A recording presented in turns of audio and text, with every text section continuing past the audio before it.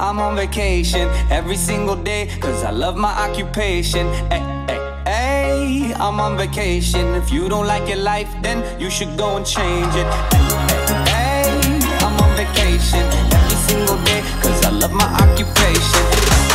Ay, I'm on vacation every single day, every single day.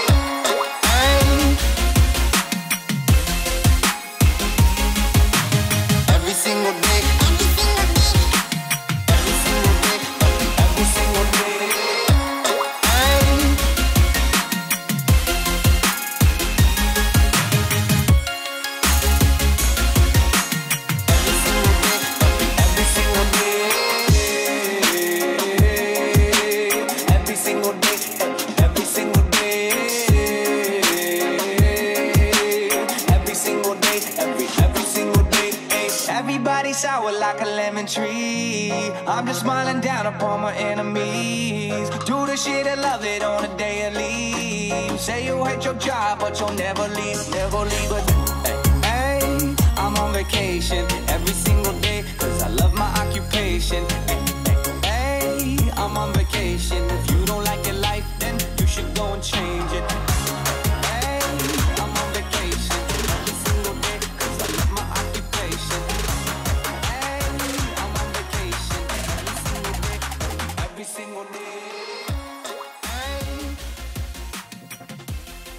What's up guys? What's going on? I bet you're wondering when is Pete gonna get back from Costa Rica? When is Pete gonna take us on another one of his installs? And uh, I'm here, finally. I'm feeling a little under the weather today. I actually ate something bad last night. I've had food poisoning all night and this is day one of the project. The last thing I wanted to do really was pick up the camera, but this is a really exciting site. Um, it's a two and a half acre site in Fort Myers, really nice homestead. Um, the homeowner worked with actually somebody else on the design work and we're just installing this. So this is all Floratam. Um, you know, lots of grass here, pretty much like your typical yard you'd find in Florida. Um, you know, we're turning this into a food forest. So something I'll show you all real quick. This is the front yard, the north. This is the house. This is the garage that's behind me, and this is the backyard where we're working now. So, um, you know, like I said, this is a, a really, really exciting site, and some of the cool things here.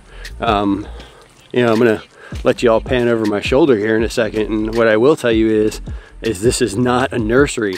Um, when I came out here to meet the homeowner, who's one of our subscribers actually from the YouTube channel, um, you know, he told me he had an addiction. He told me he had a problem, and that problem and that addiction was collecting plants.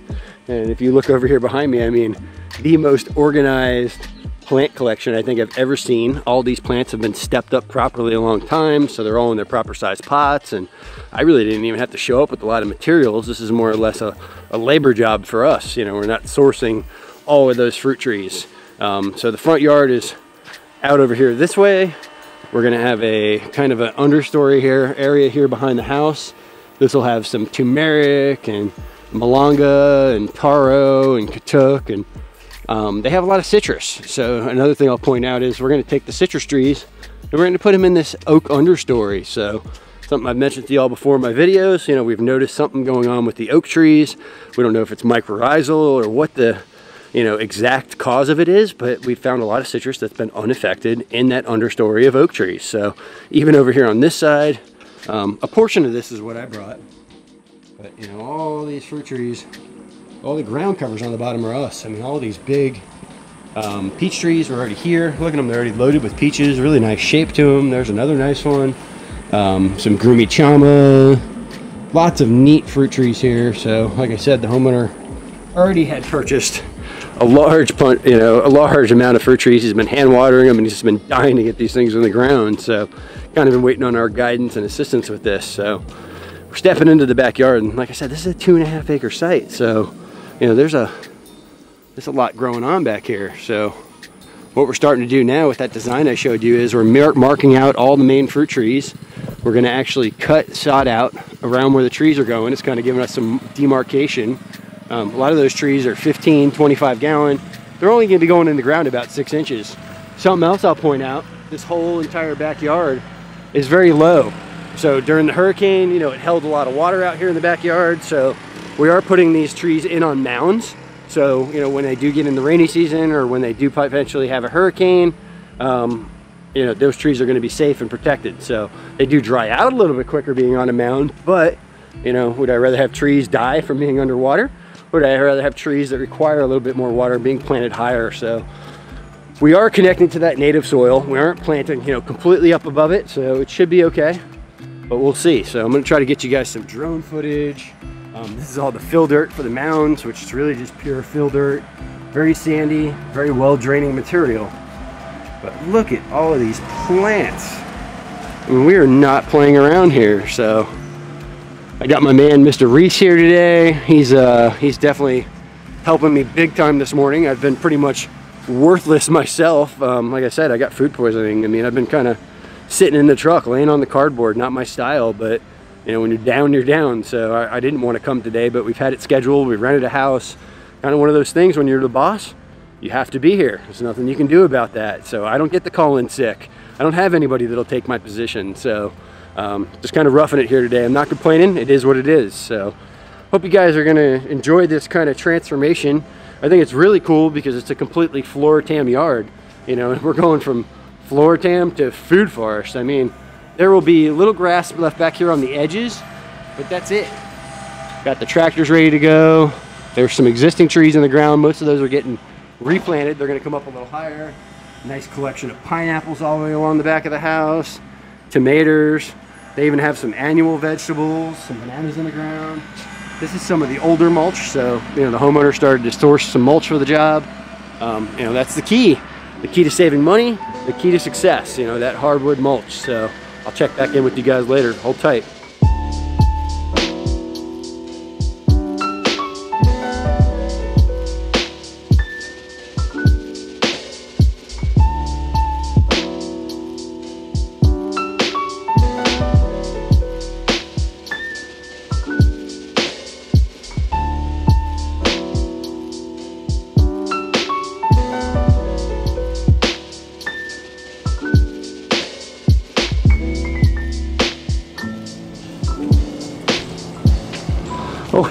Guys, what's going on? So it's another day here on this two and a half acre install in Fort Myers and show you guys what kind of progress we got. Um, we're expecting a large load of native plants this morning. Going to be ordering the materials to get our irrigation in the ground, but got a lot of these berms set out. We've got a lot of the main fruit trees put out in place and something interesting I'll point out is, you know, we don't usually do installs with large trees. Um, a, they're expensive B, they're harder to work with. You know, typically we're putting a lot of plants in the ground, so it's, you know, it's not very, you know, cost prohibitive to be putting large trees in the ground. And, you know, this project, because the homeowner had been, you know, had this intention and a dream of a food forest for a long time, had been collecting trees, potting trees up, you know, constantly stepping them up. There was almost a whole nursery here of large trees. So, you know, we're getting a lot of, I guess you could say, you know, real quick impact out here from these trees. I mean, that lychee right there is really good size. That's a big Cecropia. Um, all the mangoes, I mean, even some of these mangoes have little mangoes on them. Quite incredible. Loquats, that was a three gallon, so they're a little bit smaller. And you guys are gonna see here, you're gonna see all different colors in these soil profiles, and I'll tell you what we have going on. And these are those little baby mangoes.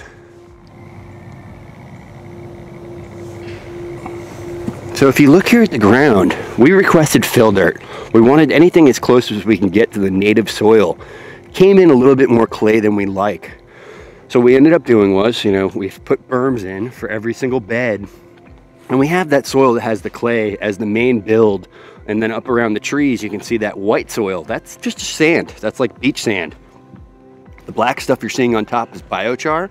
And we've also put a little bit of azomite on there.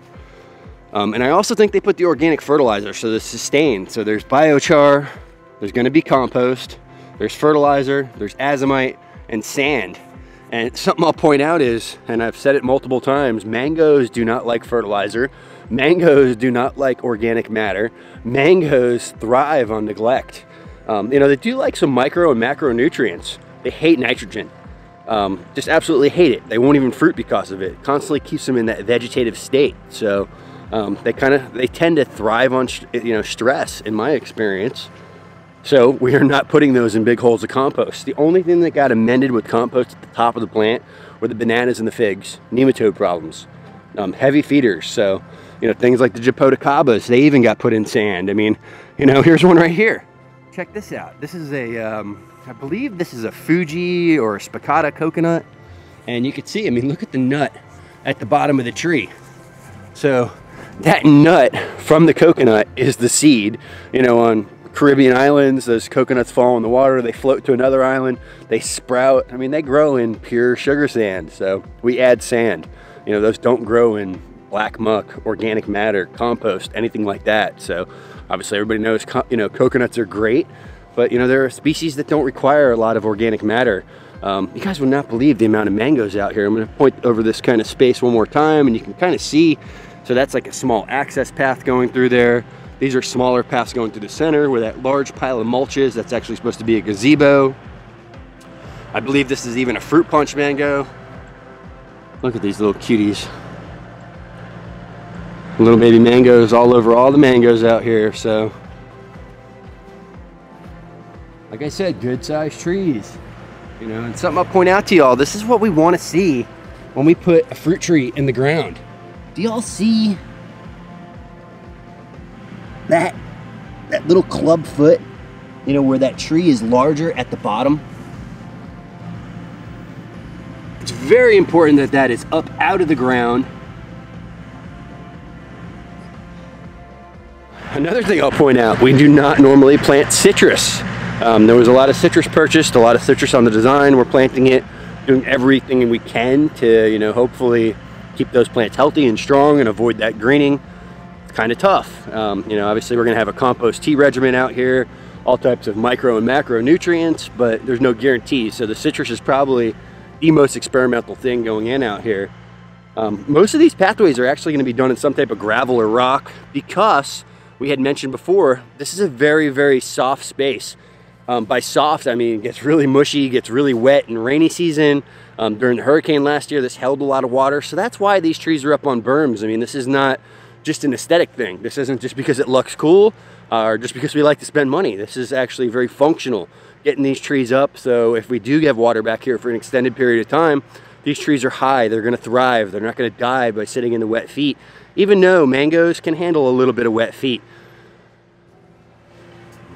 a couple bananas going on over here and um, you guys can see we're up and at it. I'm gonna get the drone out soon and I'll show you guys a little more what's going on by the end of the day.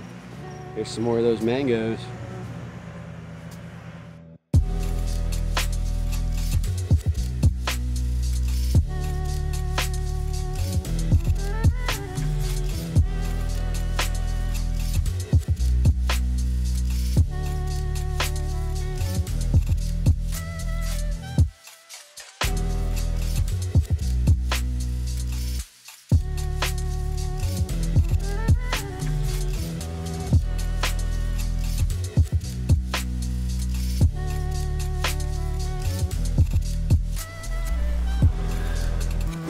What's up guys? What's growing on? So we had an exciting delivery yesterday. Some of our native plants started to show up and I'm just gonna walk you guys around, show you what we got.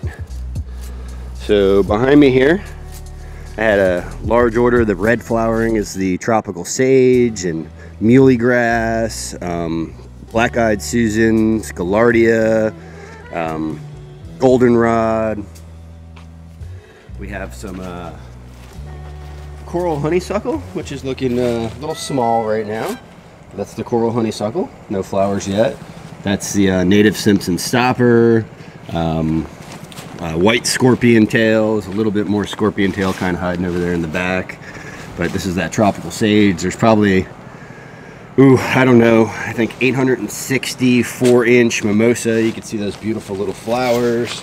Let's get you up in there. Boom, that new Sony is on point. Um, these are all the one gallon Fakahatchee grass. And I've got two varieties of Firebush.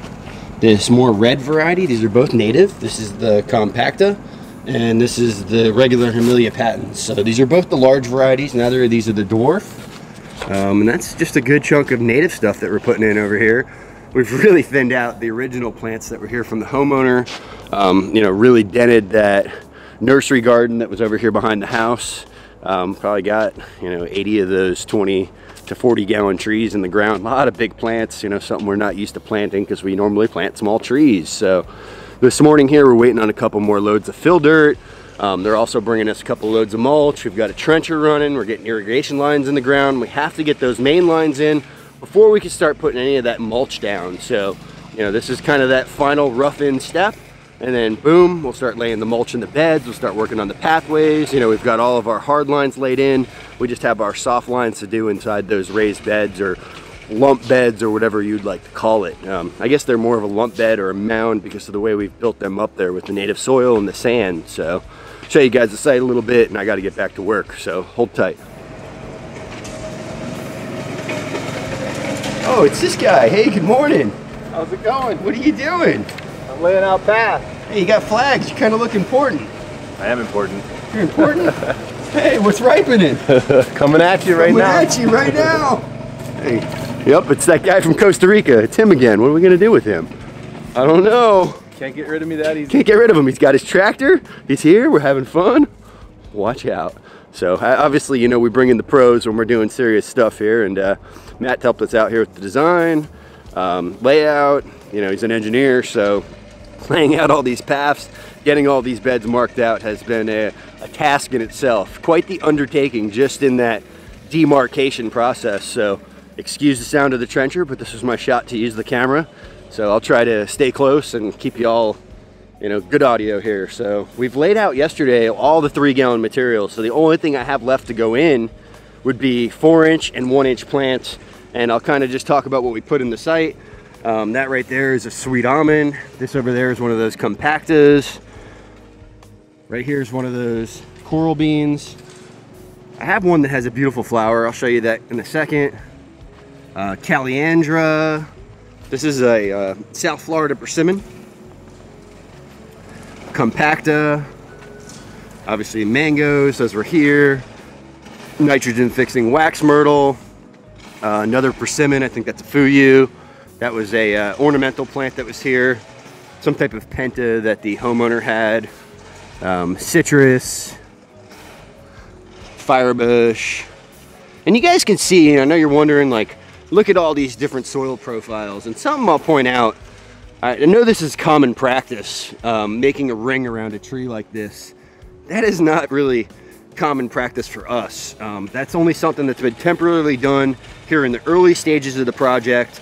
And that's specifically being done to kind of just hold that water around the tree because we have just sand on the site. We don't have any, you know, mulch down on the ground yet. We don't have that sponge to actually retain that water. So, you know, when the guys are hand watering these plants, you know, they've been in pots for a while. They're getting pulled out of the pots. Some of them are getting root pruned. There's a little bit of a shock, you know, taking it from the pot, putting it into the ground.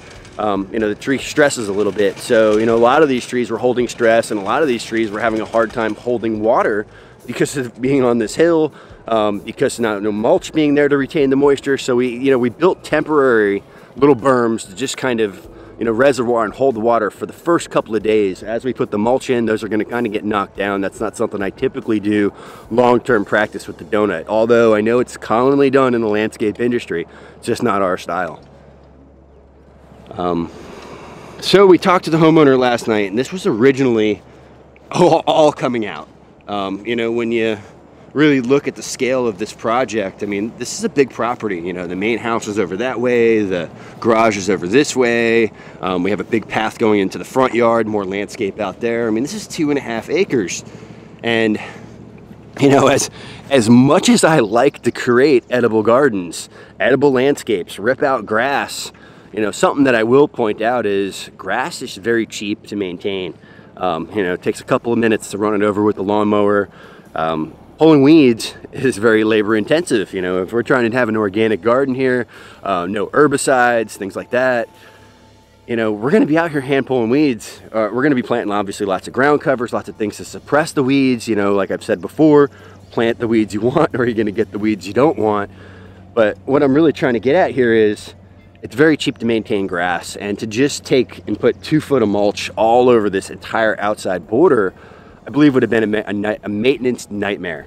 Um, but you know, if he really, you know, gets a hold of this, gets this thing in the grasp, you know, it's not too much for him to handle, fine. You know, let's go ahead and start taking these outer edges. But I, I felt that to just go ahead and remove all the grass throughout this entire backyard would be a huge maintenance undertaking for anybody. I mean, we're talking about a lot of work. So we're leaving the grass on the outsides of the beds. There's gonna be a, um, a trellis area up there just past that mulch pile.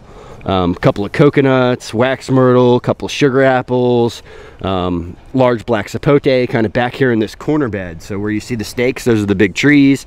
Um, the flags are kind of marking the front of the bed.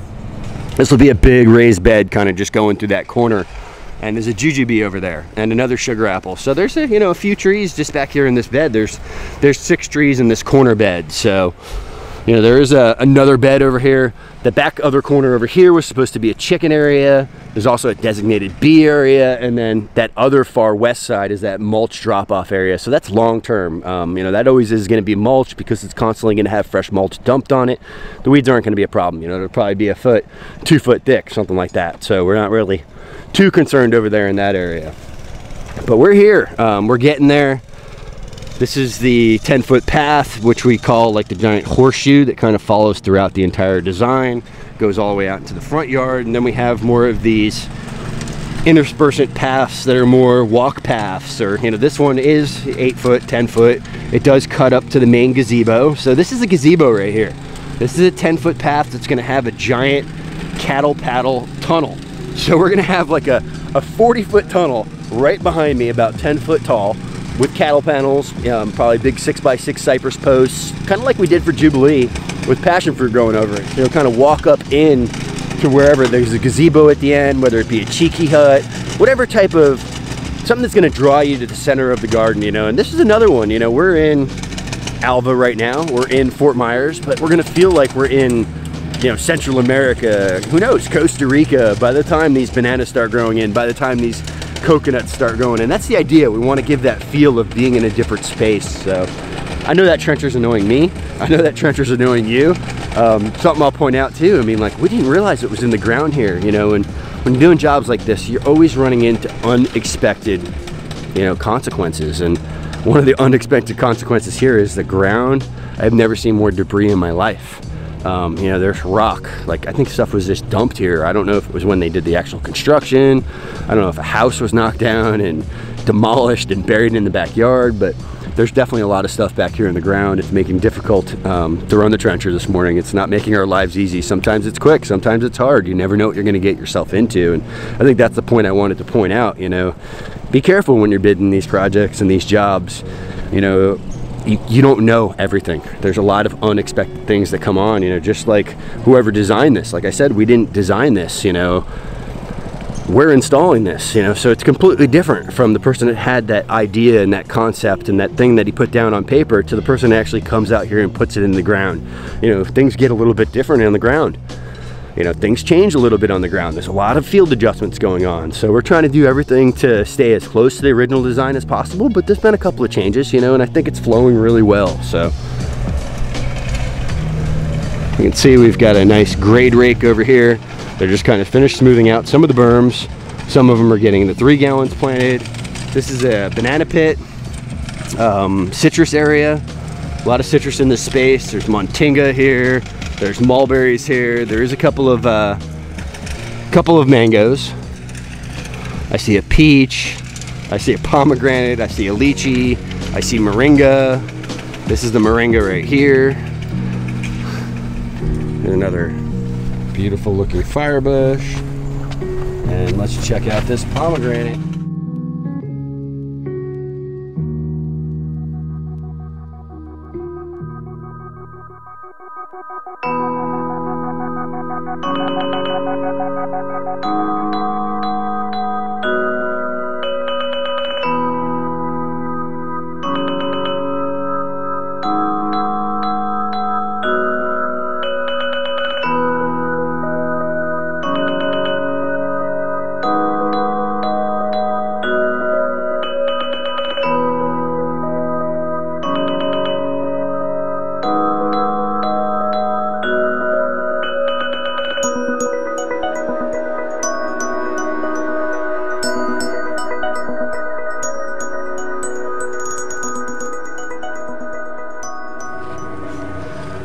What's up guys? So what's growing on? It's another day here in Fort Myers and living the dream, kind of getting her done out here. It's Friday. I get to go home and uh, see my family today, so I'm extremely excited about that. Um, gonna be leaving a little bit early, hopefully beating traffic and having dinner at uh, home tonight. So not out on the road. So I figured I'd give you guys a progress update. We just got done flushing irrigation. We're sheet mulching some paths and uh, looking a little bit different out here. Let me turn you around. So something I'll immediately point out is we've got this large pile of mulch right here. And uh, that large pile of mulch is what I'm calling the cheese. And it, it just smells like almost bad cheese per se. And you know, something I'd like to point out, I always tell y'all that tree mulch is probably the best stuff you can get. And that stuff from the oak trees with the leaves and the twigs and all that stuff broken down in there is gold. Well, only around the trees do we have enough of that gold to kind of go around. Where we're located, it's very hard to get tree mulch. It's very expensive to get tree mulch. So this is actually a, a byproduct of the good mulch. So there's a local uh, organic compost facility and when they make that compost and they screen that old mulch, this is all that, you know, big woody material that doesn't go through the screening process that kind of almost pure carbon. So it's not ideal. It's got garbage in it, doesn't smell great, but it's working for that general area. So if we had to, you know, buy mulch for the entire site, you know, that would have, it, it would have been, you know, tens of thousands of dollars. So, you know, this was very cheap. Um, you know, it's kind of filling the gap. It's not ideal, but it works. You know, you got to use what you can get. You got to use what's affordable. I mean, not everybody has a, a bottomless budget, and that's understandable. So, you know, the cheese is going to work for the general areas of the bed. The primo stuff is kind of going around the fruit trees. And what we've done now is we have all the main fruit trees in the ground. We've got all the three gallon support plants in the ground. And we're going to come back after we do the heavy mulch and install all the one gallon plants and all the four inch plants. It's much easier to put those in through the thick mulch than try to put those in and go around those with the mulch. You'll end up losing them, especially like four inch mimosa. They just disappear um, they'll get buried. So we, we found, and this is just from experience, that it's much easier to do this down the road. And you can do it any way you like. I'm just sharing with you what works best for us. So let me show you around the site, show you what's growing on out here. Now this is a no small site, at least about an acre and a quarter. There's a lot of space here. Lots of pineapples, lots of mangoes. I mean, the, the mangoes have baby mangoes on them. The peaches have fruit on them. Pretty amazing. The pineapples have pineapples on them. This is a Calliandra. This is a Grumichama. Like I said, the peach is just covered in fruit, star fruit, uh, variegated citrus, another peach, but look at this stuff. So where I'm standing is actually going to be one of the hard paths on the site. Like I had showed you in the design, we have a large horseshoe going around the outside, and it's kind of a cut through path that I'm standing in. So this is going to be some type of hard base, whether it be rock, whatever it may be, some type of hard fill.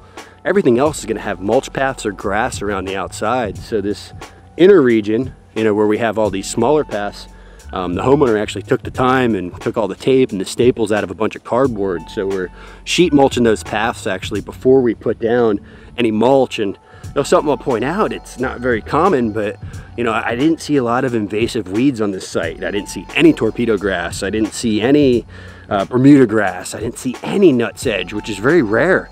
Um, you know, those are usually the really bad ones. It's mostly Floratam back here or St. Augustine. That's not something I really have to worry about penetrating. So, you know, the, the actual weed species that's already present here on the site isn't a problem. You know, that's not usually common. You can see, I mean, these are 25, 45 gallon mango trees. It's a uh, pineapple guava, lychee, grafted loquat. It's got fruit hanging on the bottom you guys can see that down there. There's another one of those coral trees. I mean, look at these mangoes. Just loaded. So right here, I'm kind of standing in the center of the site where that pole is. That's actually gonna be a chickee hut, a pavilion, a cabana, some type of destination. About halfway there with the sheet mulching process. And we've got moringas and bananas. Here's that coral tree I was talking about yesterday. Erythrina, this is a native nitrogen fixer. beautiful flowers. tracks hummingbirds. It has those long tubular flowers on it. Pretty cool. Red Jaboticaba, Moringa, kind of a sad looking lychee. Another Calliandra. Here's a uh, pink Barbie guava. Looks like a sweet almond. Um, dwarf everbearing mulberry covered in fruit. As you can see, ripe and red fruit. Coconuts. There's a little bit more of that cheese mulch. Um, strawberry tree, Muntingia. There's actually a dwarf pomegranate over there. But most of our poly lines are ran. Emitters are on the fruit trees. Oh, hey, Rye, how you doing? Good. Getting after it over here. Doing a good job, Ryan. Thank you, sir. There's another one of those giant mangoes. And here we go. That's pretty sad looking mango. So something I'll point out here, you know, there was a bunch of mangoes actually already in the ground when we got here.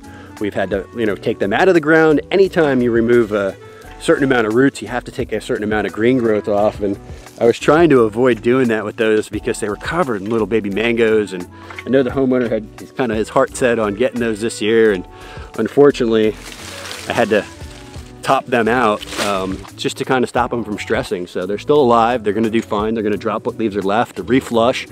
Um, a couple of them really had some bad branching and bad shaping anyway. So kind of, you know, now that I've pruned them down lower, I'm able to get them to branch a little bit lower. So it's not a bad thing at all, but it had to be done. There's some peaches up in here, another moringa, some more bananas. All right, here's the very back bed. This is the southeast corner. And we just finished this one up and this one, you know, just got the fill dirt, um, sugar apple, jujubes, coconuts. Oh, hey Ian, how you doing? Oh, hey. Hey, what's growing on over here? Got some got some stuff going in. Yeah, you putting some plants in the ground? Oh, you know it. What's this big boy in the back? Is that a black sapote? Black sapote. Whoa. Whoa. Look at those flowers. They are just gorgeous. So this is what comes in the cheese. This is why we're not very excited about it. Get that and trash and all kinds of weird stuff kind of just showing up in there. Got some more sugar apples, wax myrtle, um, pineapples, sugar apple, banana. So lots of mixed species growing on out here. Look at these, look at these mangoes. Unbelievable. Not something that we are accustomed to dealing with out here. We typically plant small trees because of how many plants we put in the ground. It would just be too expensive. So this is that main path going to the, um, like I said, chickee hut gazebo area, whatever that turns out to be. So sheet mulching and I need to get back to work. So I just wanted to show you guys around. Hope you guys have enjoyed this uh, exciting project. And I don't know if we're gonna make it to the front yard, but our goal is to get berms in the front yard next week, finish planting the support plants, get some more zones in. We'll see, we're plugging away, we're trying our best. So thank you all for watching. Thank you guys for your support. Don't forget, like, subscribe, most importantly, pound dirt.